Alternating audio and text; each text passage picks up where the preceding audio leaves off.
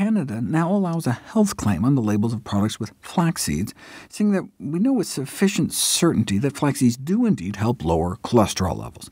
Uh, the products have to contain 2 tablespoons and have to be relatively healthy in the first place, so they can't like boast about the cholesterol-lowering effects of a flaxseed-rich meatball or something. Such claims are based on studies like this, double-blind, randomized, placebo-controlled trials. Wait, how do you come up with placebo food? I mean, there's sugar pills for drugs, but how can you slip spoonfuls of flax past someone?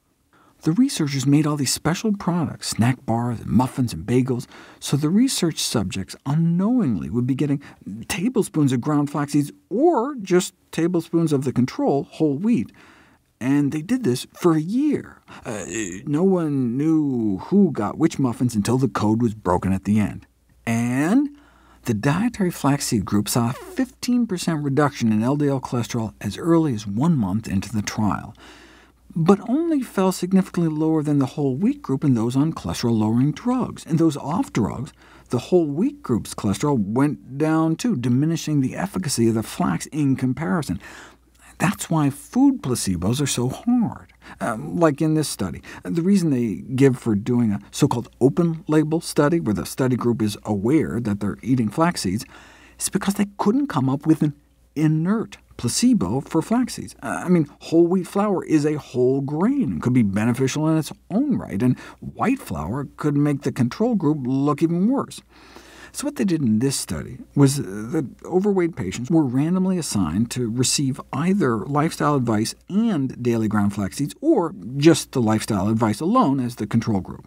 And not surprisingly, body weight, waist circumference, and body mass index decreased significantly in both groups even without the lifestyle advice, just enrolling people in a study where you know they're going to keep weighing you can get people to lose weight, though there was a significantly greater reduction in the flaxseed group, and not just by a little. Uh, the control group that just got lifestyle advice over a 12-week period lost nearly 7 pounds and an inch off their waist. But the group that got the same advice plus spoonfuls of flax a day, so in effect given more food to eat, lost over 20 pounds on average over the same period, cut nearly 4 inches off their waist. Those are extraordinary numbers for an intervention that added rather than actively removed calories from the diet.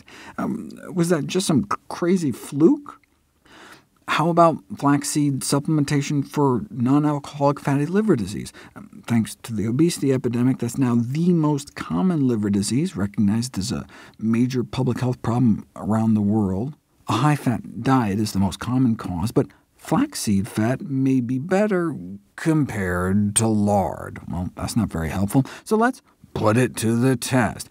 Same as last time, lifestyle modification advice with or without flax seeds. They were told to just mix it with water and juice and drink it down after breakfast, and body weight went down, along with liver inflammation and scarring, and fat inside the liver in both groups, but better in the flaxseed group. And again, that extraordinary 20-pound weight loss telling people to add something to their diet. Uh, so maybe that first study wasn't a fluke. Or maybe they both were. There have been dozens of randomized controlled trials of flax seeds and weight loss, and as you can see, most were more equivocal. Uh, here's those two recent 20-pound weight loss studies, which appear to be the outliers.